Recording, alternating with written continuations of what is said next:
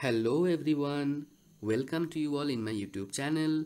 I am Sagar from IIT Delhi and in this particular video we are going to learn about sp5 hybridization.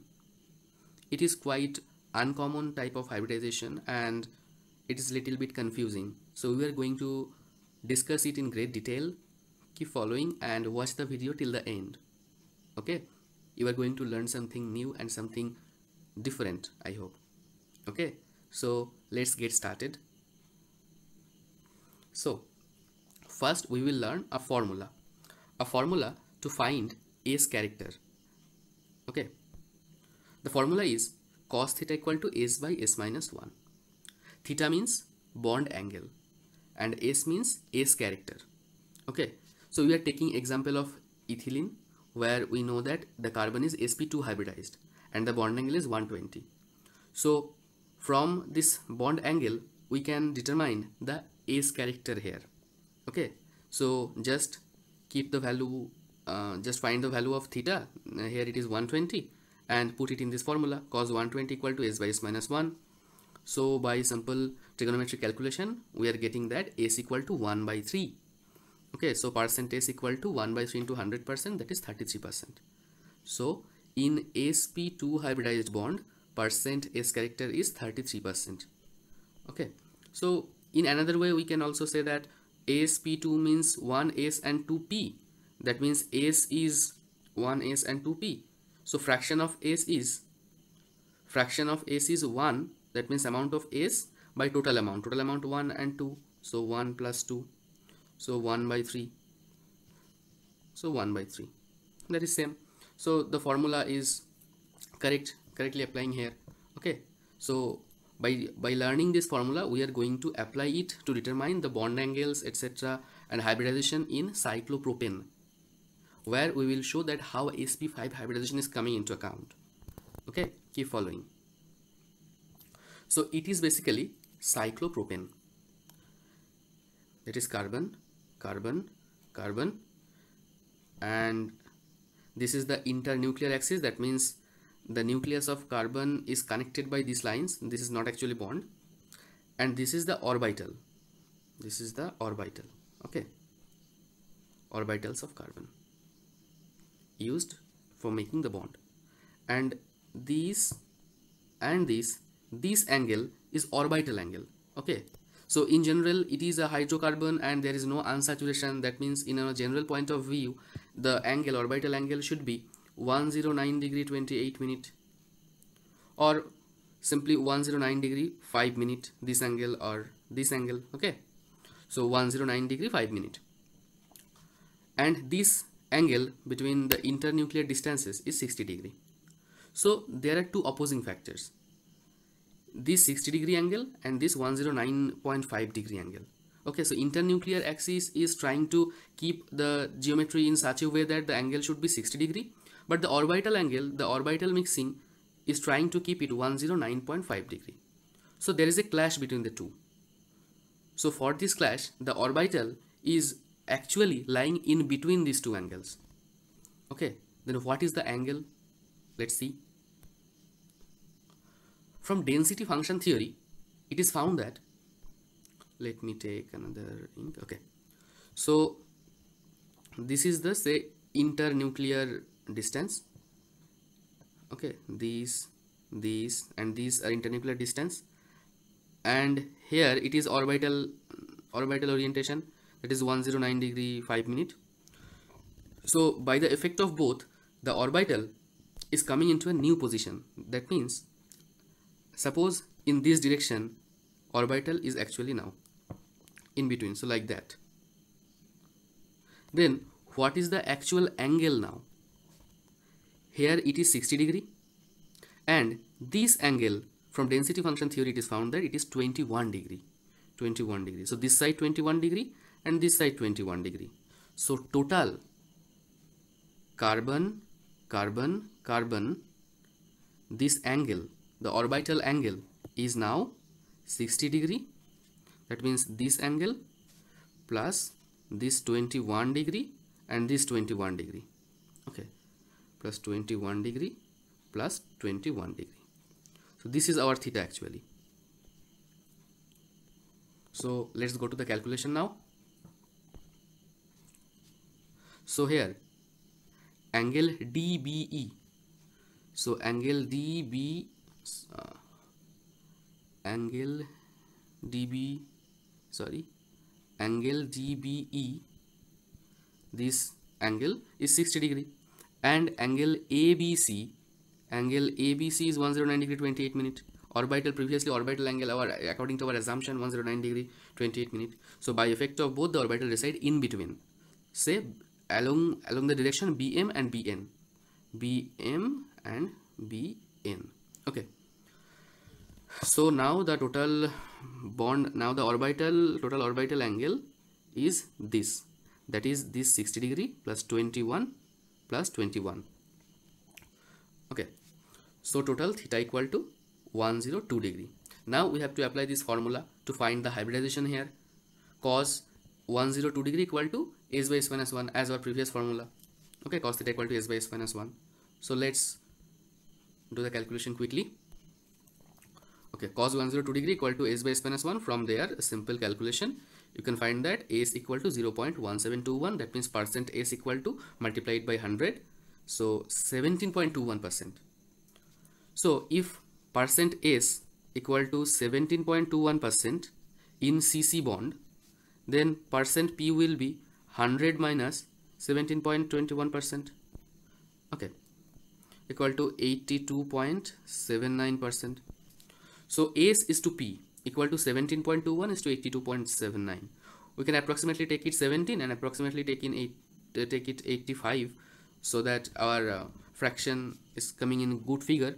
So it is coming finally 1 is to 5 so we are finally getting s is to p equal to 1 is to 5 that means s p 5 so the carbon carbon carbon so the each carbon atom is using sp5 hybrid orbital for making bond with another carbon. But is it actually possible? If it is a sp5 hybridization then how is it forming? We know that for sp3 one s one px one py one pz these are used. But for sp5 what are the orbitals are getting involved there? It's a big question. Okay. So let's try to find the answer okay? Just look at the picture very carefully. I am taking just one carbon okay? So taking one carbon I will do some calculations. Say it is not the fact that one is and p p p p p thus five p orbitals are mixing together and making sp5 it is not the actual fact. Okay then what is the actual fact? Let's see. Suppose i am taking this carbon. Here this angle is 102 degree and it is found that and we can do also reverse calculation. You can see in last. So it, the angle is 118 degree. Nearly we can take it as nearly 120 degree. We know 120 degrees bond angle for sp2 hybridization okay from for sp2 hybridization bond angle is 120 degree and in first in the case of ethylene we also proved that. Okay for theta equal to 1 uh, 120 degree the hybridization is coming sp2 okay so then here's an interesting fact. Here the here the bond angle signifies it is sp2 but here the bond angle signifies it is sp5 that means this particular carbon this particular carbon is bonding with hydrogen is bonding with hydrogen using sp2 hybrid orbital and bonding with this carbon with sp5 hybrid orbital is it possible that one particular atom is showing two different type of hybridization using two different type of hybrid orbital for making two different type of bonds. Let's have a look.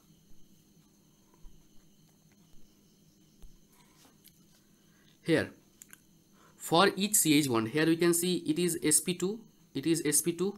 So, for each CH bond, S used for sp2 S is 1, P is 2. So here S equal to 1 by total 1 plus 2 equal to 1 by 3. So for one sp2 hybrid orbital used bond, s character is 1 by 3. So s used 1 by 3. For each cc bond, this is sp5 hybridization. So s1 p5. So s equal to amount of x equal to 1 that means amount of s by total amount 1 plus 5 okay so 1 by 6 so this carbon for this carbon for one carbon hydrogen bond s used 1 by 3 for one carbon carbon bond s used 1 by 6 so here um, here there is total 2 ch bond for each carbon this for this carbon there are total 2 ch bond. That means total s used for carbon hydrogen bond making 1 by 3 plus 1 by 3 and for each carbon there is 2 cc bond. One cc bond is using 1 by 6 s character. So 2 cc bond will use 1 by 6 plus 1 by 6 s character. So total s used equal to 1 so the carbon is using actually 1 s orbital see for p character similarly for ch bond p used if here s is 1 by 3 p will be 2 by 1 plus 2 amount of p by total amount so P will be 2 by 3. Similarly, for CC bond, P will be 5 by 6. So total P used is coming 3. So actually, the carbon is using 1S and 3P. It is not that it is using 1S and 5P to make 5 um, sp5 hybridization. Okay, so what's the what is happening here? Here, this 1S and 3p orbital are distributing in different way in different system.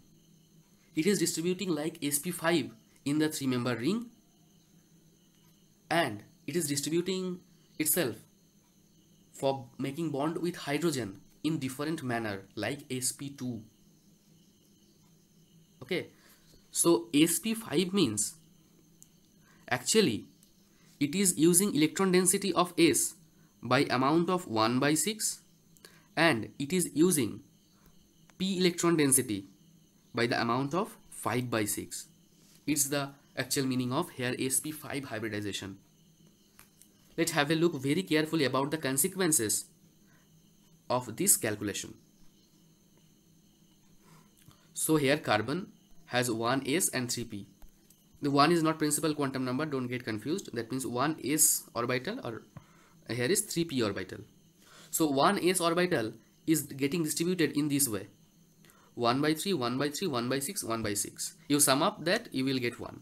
And 3p orbital is distributed like this way. 2 by 3, 2 by 3, 5 by 6, 5 by 6. It's nothing but uh, came from these previous calculations. 1 by 3, 1 by 6, 2 by 3, 5 by 6. Okay. Then this 1 by 3 of S and this 2 by 3 of P this type of mixing generating sp2 hybrid orbital that is it is ch bond. Similarly this 1 by 3 and this 2 by 3 is mixing up giving another sp2 hybrid orbital. That means another ch bond. Similarly this 1 by 6 and this 5 by 6 is mixing together generating sp5 hybrid orbital that means cc bond and similarly here also. So thus by the 1s and 3p orbitals are distributing in their self in such a way that both sp5 and sp2 hybridizations are coming into account. Hope you understood this. Okay, so if you have any doubt till now, you can ask in comment section. I will uh, try to answer them. Okay, so actually carbon has 1s and 3p so overall should all be same right? So thus by summation of this total s character and total p character used by each carbon atom will be just one s and 3p and it's shown here. Okay? And sp i am again saying that sp5 hybridization actually doesn't mean that there is one s and 5 p orbitals no nothing about that it actually means that it is using electron density of s by fraction 1 by 6 and using electron density of p by 5 by 6 another I think I should add something here that for bond for this three member ring carbon carbon carbon here the bond is like made from sp5 hybridization. So here percent p character is very very high right uh, percent p character is here 5 by 6 in 200 so percent p character is very very high. Percent p character very very high means the nucleophilicity is very very high. Okay if percent is very very high means the s character high means the nucleus is attracting the s attract the nucleus attracts s very much. Okay that's why the orbitals or bonds or lone pairs having greater s character is greater attracted by by nucleus. So where the p character is high not s character where the p character is high. That can be easily donatable. Okay. So it can act as good nucleophile so practically we see like this example. If we react it with bromine okay. So like double bond like pi bond like pi bond here reaction occurs and here two bromines gets added. Okay. So it is only possible if their p character is very very high. This supports it is actually not a simple sp3 hybridization. It is sp5 hybridization. Okay? And you saw how sp5 hybridization is coming into account. So that's all. Hope you enjoyed it and learned something new. Thank you for watching. Keep learning and like share and subscribe it. Okay? And keep supporting. Thank you